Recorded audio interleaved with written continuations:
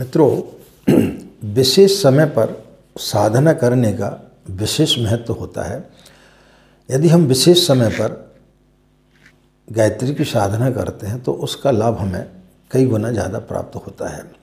इसलिए हमारे ऋषि मुनियों ने जो दो नवरात्रि आती हैं, एक आश्विन नवरात्रि और एक चैत्र की नवरात्रि, इनमें गायत्री साधना का विशेष रूप से महत्व बताया गया है। इन समय पर यदि हम गायत्री की साधना करते हैं तो निश्चित रूप से हमें कई गुना ज़्यादा लाभ प्राप्त होता है। यूँ तो चार नवरात्रि बताई जाती हैं, दो अश्विन और चैत्र की नवरात्रि, और दो जो है, वो गुप्त नवरात्रि के रूप में मनाई जाती है। गुप्त नवरात्रि में प्रायः लोग जो है, तांत्रिक साधनाएँ ज़्यादा करते हैं। विशेष रूप से आश्विन और चैत्र की नवरात्रि में यदि आप गायत्री की साधना करते हैं, लघु अनुष्ठान जिसमें किया जा सकता है नौ दिन का चौबीस हज़ार का अनुष्ठान तो निश्चित रूप से आपको गायत्री मंत्र कई गुना ज़्यादा फलित होगा।